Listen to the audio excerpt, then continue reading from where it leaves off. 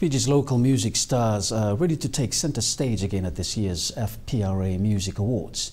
Organizers are planning on staging a bigger show at GPH on the 14th of May. 14th of May, Saturday 14th of May 2016.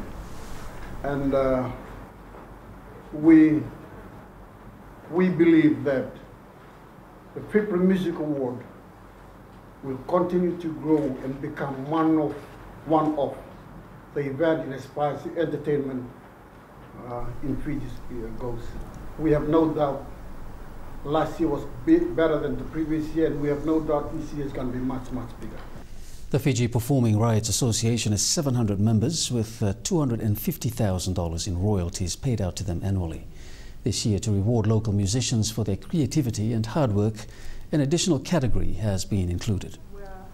Excited to bring the third edition of the FIPRA Music Awards, bringing up to 14 category, one extra category this year, rewarding all different genres